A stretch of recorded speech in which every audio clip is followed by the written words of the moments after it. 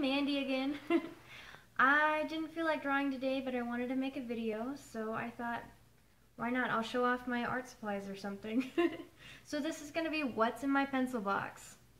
And I have a lot of art supplies. I have a whole desk full of them, really, but I've been going through and trying to kind of get rid of what I don't use anymore. And this is mostly what I do use. And a lot of this is stuff that I've kind of acquired over the years, not really that I went out and bought specifically, except for a couple sets, like I bought a charcoal drawing set for portraits. But like all of these pencils, all the orange ones here are the charcoal set that I bought. But the rest of this is just stuff that I had. so like, when I took my draw, well, I took a basic drawing class in high school, and so we had just some really, really simple drawing sets uh, you know, the standard 4B, 2H, rendering pencil, all that stuff that I don't use. but I keep them here because I have them. I have a lot of these Ticonderoga ones, just the number two pencils. I use them to sketch out before I ink anything in or color it because I figure they're cheap and they're, the lead is really smooth and I like the way the erasers are. I put no erasers on them, but like, these are just a good reliable pencil for me and I just stick with what I like. And like these, I used to keep them for like portrait drawing and stuff, which I haven't done for a while. I might get back into it soon, but I haven't used these for a bit. And then like right next to it, I got glue. I don't glue many things, but I've got it. and like this, if you see my Watch Me Draw videos, this is the whiteout pen that I use. It's just from the dollar store. I mean, it's nothing special, but you pop off the cap, and it's not just like a dot thing, you have to like, well it kind of works like that, but you kind of have to squeeze the side to get any more of it out. And it's good for dots, not really good for lines, but I still try to do lines. and I use that. Uh, I have this gel pen here, it does not work. I kind of tried to do this before I got the whiteout pen, but for some reason I keep it in here with the hopes that it'll work someday, somehow. I've got scissors. I haven't cut anything, but I'm always losing my scissors, so I keep them here so I don't, you know, forget where at least one pair is. Uh, this X-Acto knife, I actually haven't used it for any kind of drawing or anything. I know some people will lay down a lot of colored pencil and then they'll scrape away some designs. I haven't tried that yet, but I might in the future. But, I mean, keeping it somewhere is a good idea instead of just leaving it floating around your room. And then I've got a bunch of these guys. I know some people who call them stumps or like they're just like a generic kind of blender thing. And I've got all kinds of sizes and stuff. Some of them are used, some of them I haven't even touched. Well, I mean, I've touched them, but I haven't used them. But, I don't know. I should probably use these more often, shouldn't I? but I've got those. And then I've got a ton of erasers.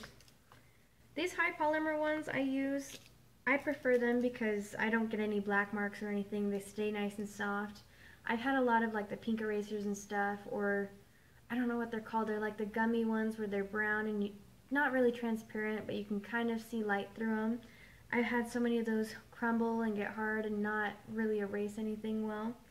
So I just prefer these because I, I don't have anything that I'm really trying to lighten. I'm just trying to erase everything when I erase. And I've got a couple kneaded erasers. Uh, these are mostly for when I do portraits and stuff. I haven't even opened this one yet. I'm waiting till this one's all black and not even really usable anymore. But I've got like a bunch of erasers. I've got pencil cap erasers like nobody even knows. I've got so many of these. I put them on every pencil I use and I've still got a ton extra. And like these ones are actually high polymer ones also. They're not just regular generic ones. These are just regular generic ones, the colored ones. But I've been trying to use the white ones because, like I said, I don't get as many black marks. It stays nice and squishy instead of crumbling or anything. So, and then I've got sharpeners. Sharpeners like there's no tomorrow. They're going out of business. I've got five here. I've got a big one here that collects whatever I sharpen into it, which is nice because I don't like putting shavings on my drawings. And I've even got like a couple more that I don't even keep in here. I've got one that I keep I have a big colored pencil box that's just kind of generic uh, colored pencils. I keep one in there that's kind of contained. I have just random ones floating around my room. so I've got those. And then these are a bunch of drawing pens, Sharpies, like I said, lots of stuff that I've kind of collected over the years. I've got three or four different kinds of sets of drawing pens. And so they're all kind of shoved in here. I have a calligraphy pen, which is kind of probably dangerous and sharp to keep just floating somewhere. But I've got that. And like, I've got sets. Oh, if I can set them down for a minute. Like, let's see. Not these ones. These are the wrong ones. But these microline ones are the ones that I usually draw with. I like the different sizes of them, and I like that they mark how wide each one is.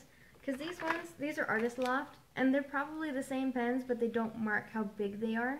They just say 3 and 5 on the side, which, I mean, these do too, but this is, this is more straightforward to me that it's got the measurements.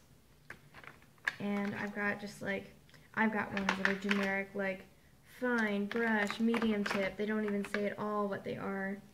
I do use the brush one sometimes though, because it's good for varying like line widths and stuff. And then I have this random pack. I don't have all the have all of them here, but I've got this pack where it's like all brush pens and they're all different kinds of gray. I don't know what I would do with different kinds of gray, but I've got them. they were a gift to me. And then I used to just solely do Sharpies. I have the double-sided ones. I've got just the fine ones. I've got the thick ones. Before I got nice drawing pens, this is what I did. Was just Sharpies. And it, oh, it stunk so bad, but like, I've still got so many left over. Sometimes I use them when I need something extra, extra thick. Oh god, that sounds bad. Um, when I need a really thick line that I don't have a pen for here. Um, and then I've got just this generic colored pencil and other things compartment. I use my Prismacolors mostly, but I've got a lot of Crayolas and stuff. The Prismacolors I have is a 24 pack, and I've got two of that, but I don't have much else. So these are just kind of fill-in colors for what I don't really have or that blend really well with it. And I've got a couple gel pens and stuff in here that are just kind of thrown in. I've been going through stuff and putting things in here and taking them out. So it's kind of a mess with these guys, but I've got short ones, long ones. And like I said, these are just kind of that I've got from like school and stuff. They're not anything special that I went out and bought. Lastly, I've got my Prismacolor set.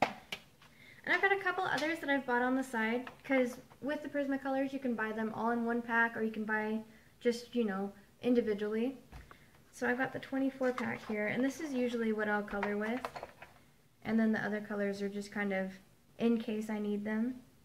And I like this set pretty well. I've actually got a couple of my um, individual pencils put in here instead of the ones that came in the pack. But I put in what I like and what I use more. And then it's just easy access. I've got it all right there. And yeah, that's kind of just what I use right now. And some of what I don't even use, but what I keep here. And yeah, that's usually what I have to the side of me when I do my watch me draw video. It's just right, it's all right here. If I need it, I can kind of sort through. And it's convenient for me, and it's huge, so I can carry everything. so that's my pencil box. I have other art supplies, but drawing's a thing that's been the most personal for me.